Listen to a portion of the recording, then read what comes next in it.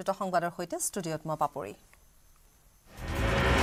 ঢিঙত বন বিভাগে ট্ৰাংকুলাইজ কৰা বাঘৰ মৃত্যু। ঢিঙত অচেতন কৰি গুৱাহাটী ৰাজ্যিক চিৰিয়াখানালৈ অনা ঢেকীয়াপতীয়া বাঘৰ মৃত্যুক লৈ তীব্ৰ চাঞ্চল্য। মৰণোত্তৰ পৰীক্ষাৰ পিছত পোহৰলৈ আহিব বাঘটোৰ মৃত্যুৰ কাৰণ। বৰ্তমান চিৰিয়াখানাতে ৰখা হৈছে মৃত ঢেকীয়াপতীয়া বাঘটো।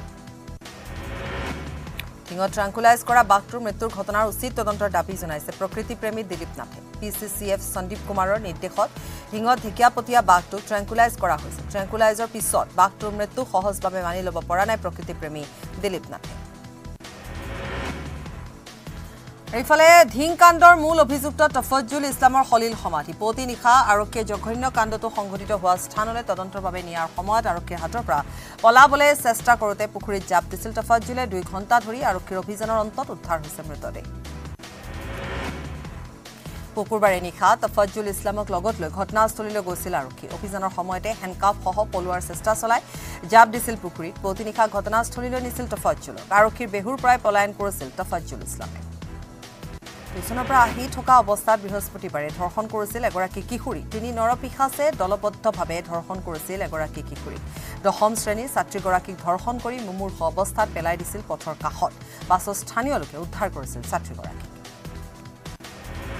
ছাত্ৰী ধৰ্ষণ কাণ্ডৰ বিৰুদ্ধে সৰব তফজ্জুল ইছলামৰ গাঁওবাসী। ধৰ্ষণকাৰী তফজ্জুলৰ জানাজা নকৰাৰ সিদ্ধান্ত ল'লে গাঁওবাসীয়ে তফজ্জুলৰ পৰিয়ালক এঘৰীয়া কৰিলে বৰভেটিৰ ৰাইজে।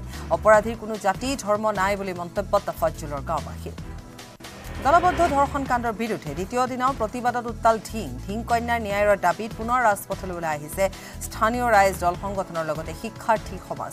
ধৰ্ষণকাৰীক ফাঁচীৰ দাবীৰে প্ৰতিবাদকাৰীয়ে উত্তাল কৰি তোলে ৰাজপথ। চিৰাঙত সংঘটিত হৈছে জঘন্য ঘটনা। দুগৰাকী নৱম শ্ৰেণীৰ ছাত্ৰীক যৌন নিৰ্যাতন গাঁওৰক্ষী বাহিনীৰ সভাপতি। ৰক্ষক হৈ ভক্ষকৰ ভূমিকা পালন কৰা জহিৰুদ্দিন দেৱানৰ বিৰুদ্ধে যৌন নিৰ্যাতনৰ অভিযোগ। সমগ্ৰ ঘটনাক লৈ চিডলি এলেকাত চিডলি এলেকাত তীব্ৰ চাঞ্চল্যৰ সৃষ্টি হৈছে। ছাত্ৰীক যৌন নিৰ্যাতন চলোৱা গাঁওৰক্ষী বাহিনীৰ সভাপতিক গ্ৰেপ্তাৰৰ দাবী। সভাপতি জহৰুদ্দিনে কৌশলেৰে মাতি নিয়ে অসমীয়া দুই ছাত্ৰীক। বহিৰাজ্যত কাম দিয়াৰ চলেৰে ঘৰৰ পৰা মাতি নিছিল।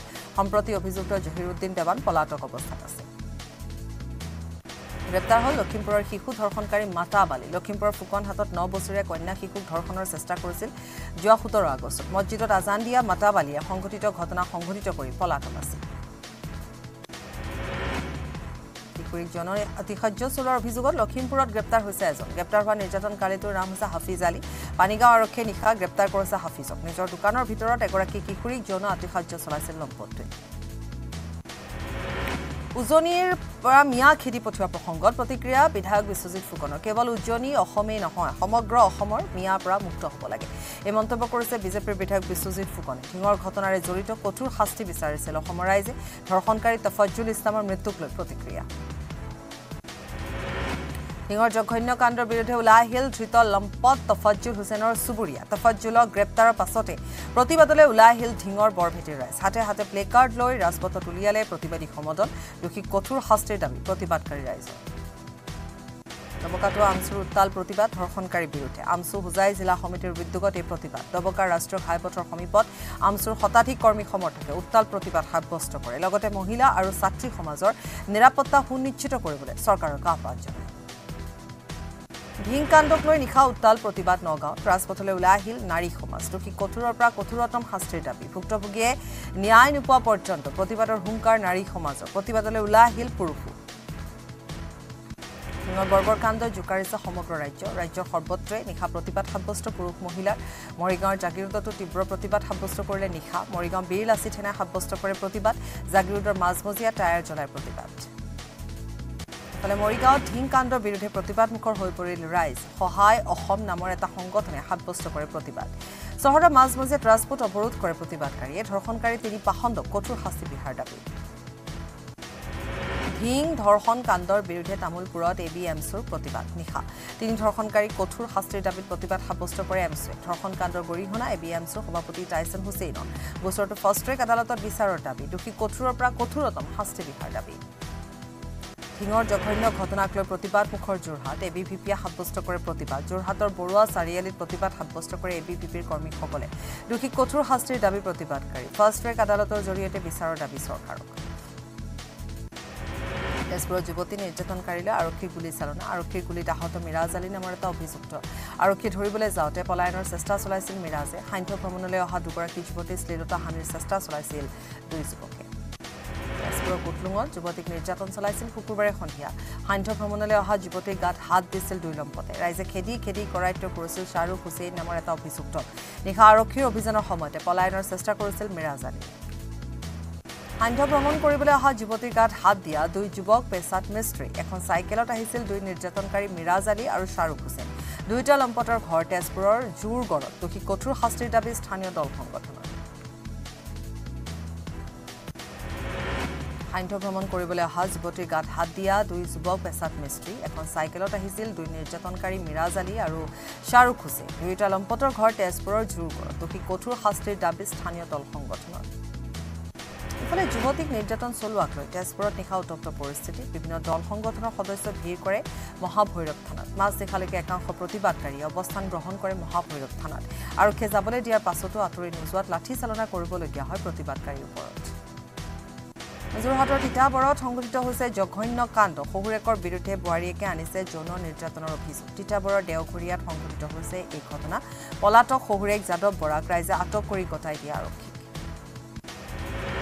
বোৱাৰীয়েকৰ সতীত্ব হৰণ কৰা লম্পট শহুৰেকৰ বিৰুদ্ধে ওলাই আহিল ৰাইজ। ধৰ্ষণকাৰী শহুৰেক যাদৱ বৰাক কঠোৰ শাস্তিৰ দাবী জনালে স্থানীয় মহিলাসকলে। কিছুদিনৰ পূৰ্বে সংঘটিত হৈছিল এই ঘটনাটো। ধৰ্ষণ কৰি বোৱাৰীয়েকক এই কথা কাকো নকবলৈ ভাবুকিও দিছিল লম্পট যাদৱ বৰাই। মঙলদৈ চৈধ্য বছৰীয়া কিশোৰীক ধৰ্ষণ লম্পটৰ গ্ৰেপ্তাৰ প্ৰদীপ নাথ নামৰ ধৰ্ষণকাৰীটো ঘৰত কোনো নথকাৰ সুযোগ লৈ কিশোৰীগৰাকীক ধৰ্ষণ কৰিছিল ধৰ্ষিতা কিশোৰীগৰাকী পাঁচ মাহৰ অন্তঃসত্ত্বা আছিল। মাত্ৰে চিকিৎসকৰ ওচৰলৈ নিয়াত পোহৰলৈ আহে সমগ্ৰ ঘটনা। ইফালে হোজাইতো এগৰাকী ছাত্ৰীক যৌন নিৰ্যাতন শিক্ষকৰ টিউচন শিক্ষকৰ কামনাৰ বলি হ'ল এগৰাকী ছাত্ৰী। শিক্ষকৰূপী লম্পট বিশ্বজিৎ দাসক ৰাইজে উত্তম মধ্যম সোধাই আৰক্ষীক গতাই দিয়ে। লম্পট বিশ্বজিৎ দাস হোজাইৰ এখন ব্যক্তিগত বিদ্যালয়ৰ শিক্ষক ভাইৰেল হৈছিল অপকৰ্মৰ ভিডিঅ'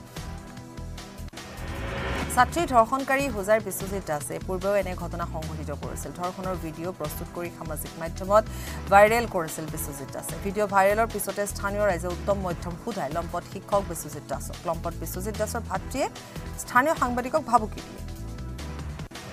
তিনিচুকীয়াৰ শ্ৰীপুৰীয়াত সাত বছৰীয়া শিশুক যৌন নিৰ্যাতনৰ অপচেষ্টা অভিযুক্ত জোনশালত পানী তোলাৰ পৰা আটক কৰে তিনিচুকীয়া আৰক্ষীয়ে। চকলেট দিয়াৰ প্ৰলোভনেৰে এটি সাত বছৰীয়া কন্যা শিশুক যৌন নিৰ্যাতন চলোৱা হয়। পেছাত মাংস বেপাৰী লম্পট জোনশালত সামাজিক মাধ্যমত বিতৰ্কিত মন্তব্য কৰি আৰক্ষীৰ ৰোষত পৰে শিক্ষক ভিক্টৰ দাস। কামৰূপৰ দদৰাস্থিত ভিক্টৰ দাসৰ বাসগৃহত হাজো আৰক্ষীৰ অভিযান। বিতৰ্কিত শিক্ষকগৰাকীয়ে সামাজিক মাধ্যমত লাইভ সম্প্ৰচাৰৰ যোগে দিছিল উচতনিমূলক মন্তব্য।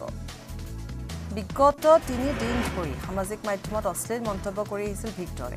মুখ্যমন্ত্ৰীকে ধৰি কেইবাজনো লোকৰ বিৰুদ্ধে অশ্লীল মন্তব্য কৰিছিল। একাংশ বিজেপি কৰ্মীৰ এজাহাৰৰ পাছতে আৰক্ষীৰ অভিযান। ভিক্টৰৰ বাসগৃহৰ পৰা জব্দ কম্পিউটাৰ ছেটসহ এটা মোবাইল ফোন।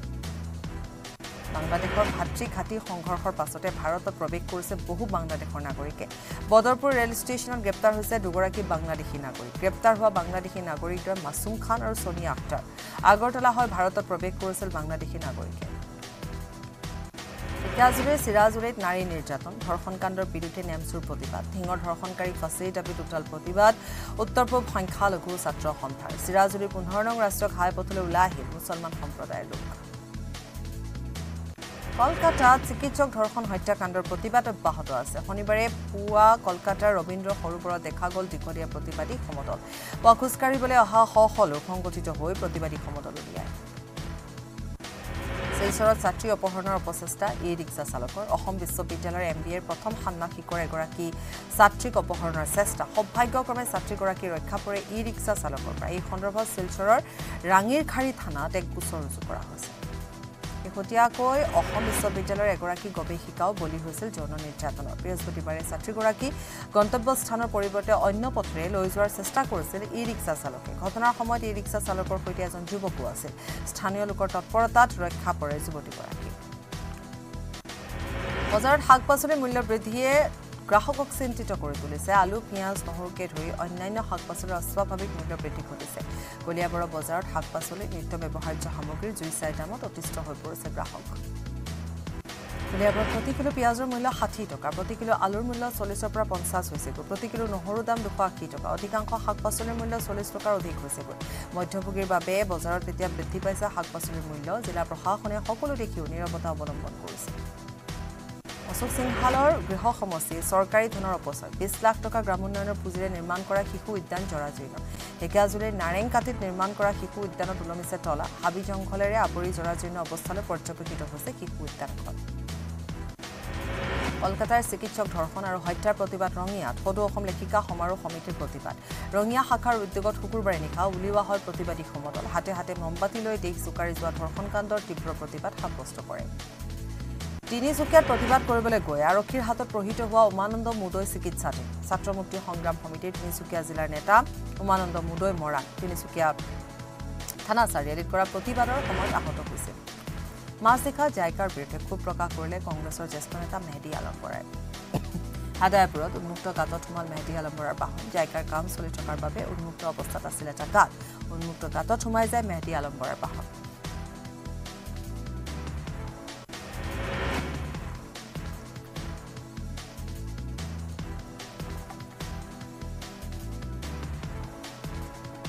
আজি মহাপুৰুষ মাধৱদেৱৰ চাৰিশ আঠাইছ সংখ্যক তিৰুভাৱ তিথি হৰিনামৰ ধ্বনিৰে মুখৰ ৰাজ্যৰ প্ৰতিটো সত্ৰ নামঘৰ পুৱাৰে পৰা ঢেকীয়াখোৱা আঠকেলীয়া নামঘৰ মাজুলীত ভক্তৰ ভিৰ সত্ৰনগৰী বৰপেটাত দহদিনীয়াকৈ পালন কৰা হ'ব মহাপুৰুষজনাৰ কীৰ্তন মহোৎসৱ পুৱাৰে পৰাই হৰিনামৰ ধ্বনিৰে মুখৰিত ঐতিহাসিক ঢেকীয়াখোৱা বৰনামঘৰ।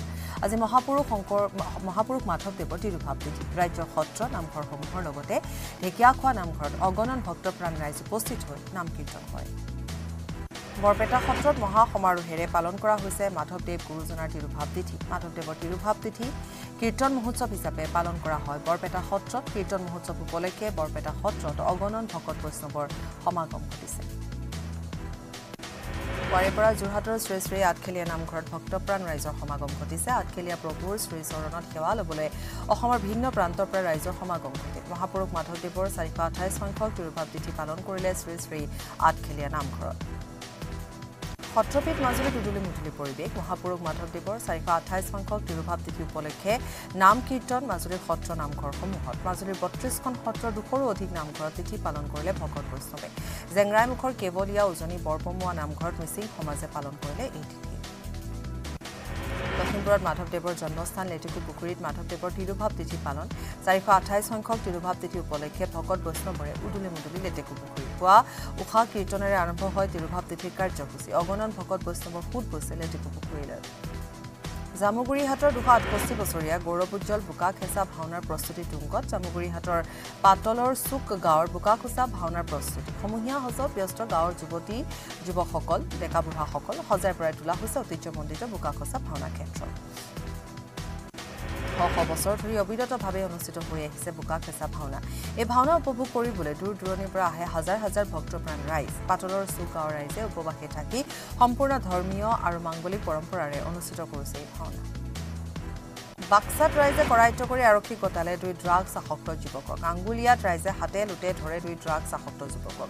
চিৰিঞ্জেৰে ড্ৰাগছ লৈ থকা অৱস্থাতে স্থানীয় কেইজনমান যুৱকে আটক কৰে ড্ৰাগছ আসক্ত যুৱক দুজনক। যুৱক দুজন বিপুল হৰিজন আৰু ধনঞ্জয় বড়ো।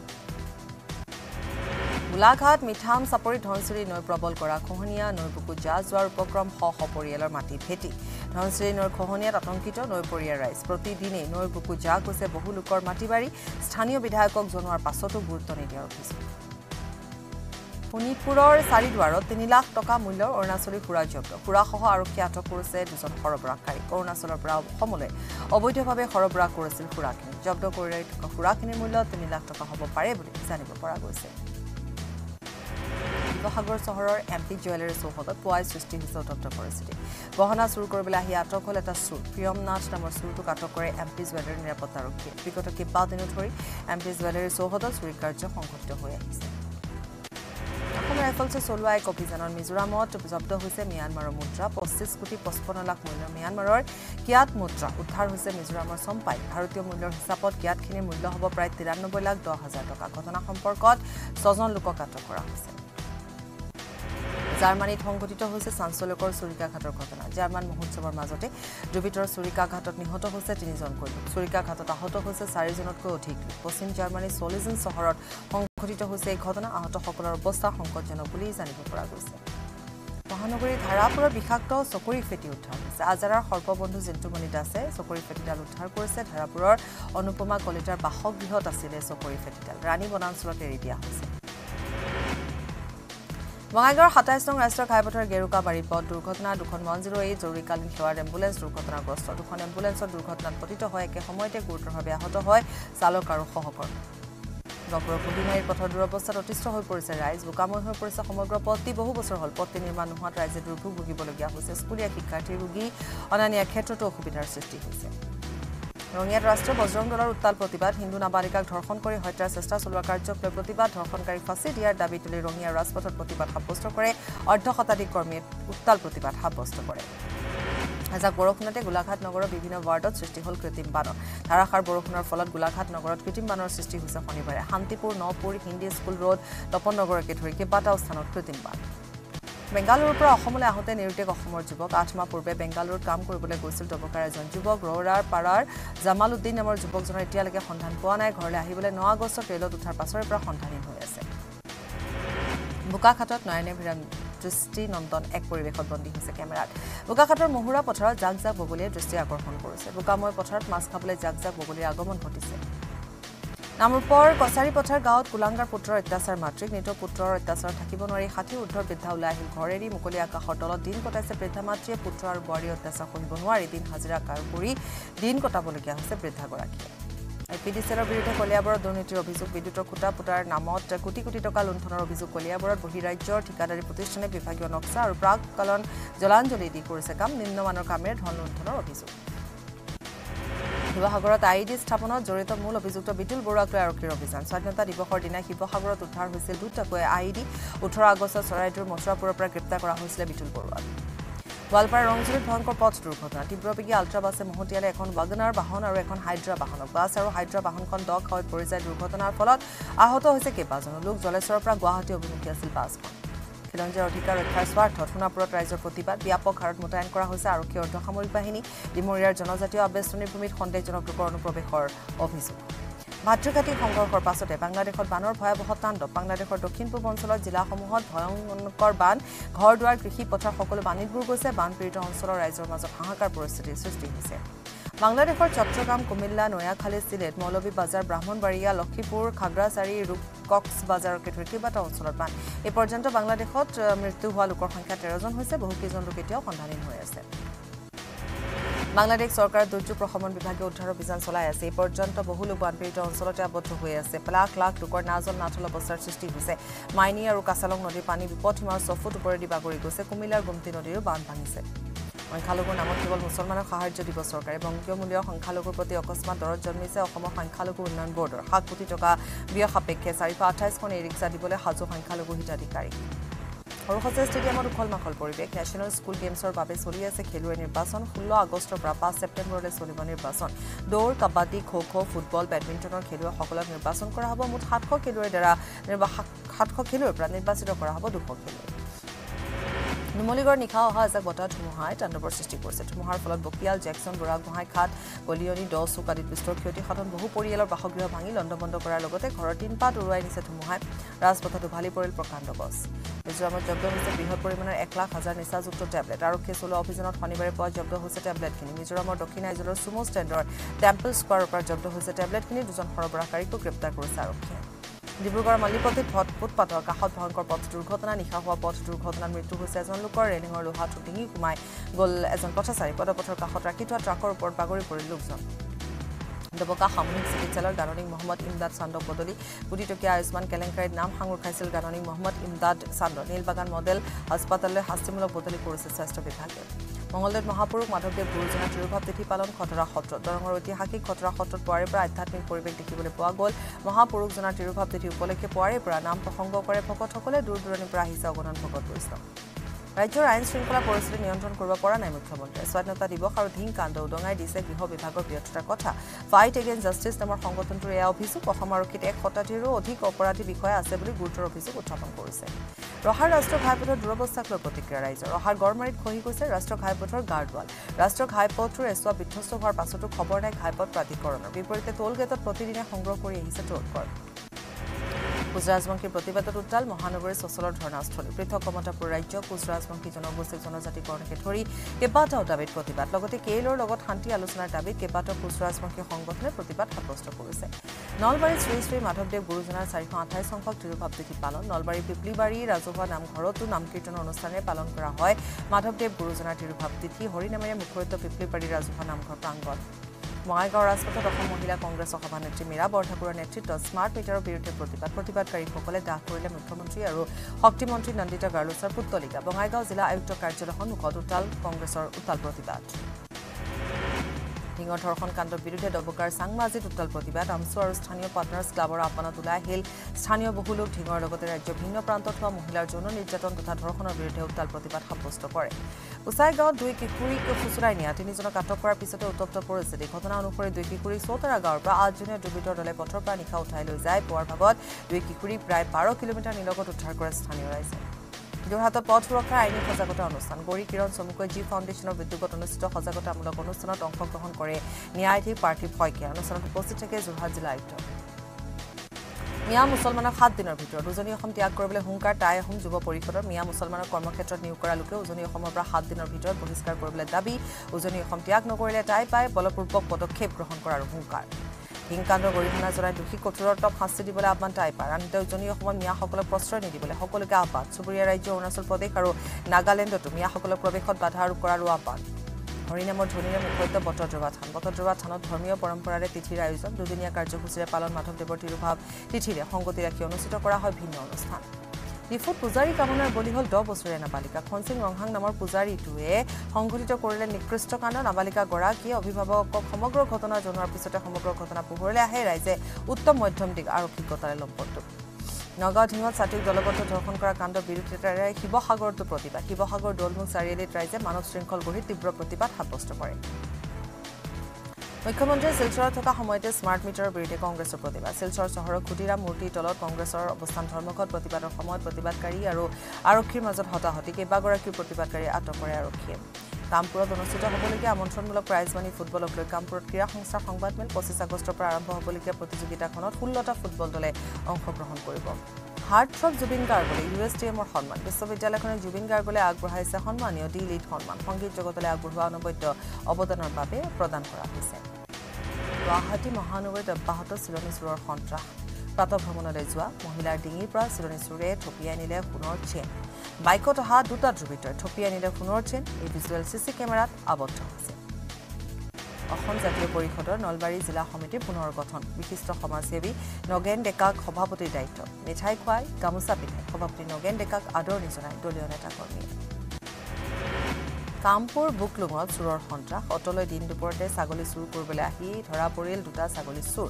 স্থানীয় ৰাইজে উত্তম মধ্যম দি কঠীয়াতলী আৰক্ষীক গতালে দুই চিলনী চোৰক। ধৃত চোৰ দুটা কচুৱাৰ খাইৰুল ইছলাম আৰু গুলজাৰ হুছেইন সিঙৰ ধৰ্ষণ কাণ্ডৰ বিৰুদ্ধে বাক্সাৰ গোবৰ্ধনাত আমচুৰ প্ৰতিবাদ। হাতে হাতে বেনাৰ প্লেকাৰ্ড লৈ ধৰ্ষণকাৰীক ফাঁচি দিয়ক। বিজেপি হাই হাই অসম চৰকাৰ হাই হাই আদি শ্লোগান দি উত্তাল প্ৰতিবাদ সাব্যস্ত কৰে আমচু কৰ্মীসকলে। শাসনাধিষ্ঠিত বিজেপি দলৰ ভেটি সুদৃঢ়কৰণৰ লক্ষ্যৰে সদস্যতা অভিযান দুহেজাৰ চৌবিছ শনিবাৰে ৰঙিয়াত উত্তৰ কামৰূপ জিলা ভিত্তিত অনুষ্ঠিত কৰা হয় কৰ্মশালা। ৰঙিয়াৰ ঐতিহাসিক হৰদত্ত বীৰ দত্ত ভৱনৰ প্ৰেক্ষাগৃহত অনুষ্ঠিত হয় কৰ্মশালা।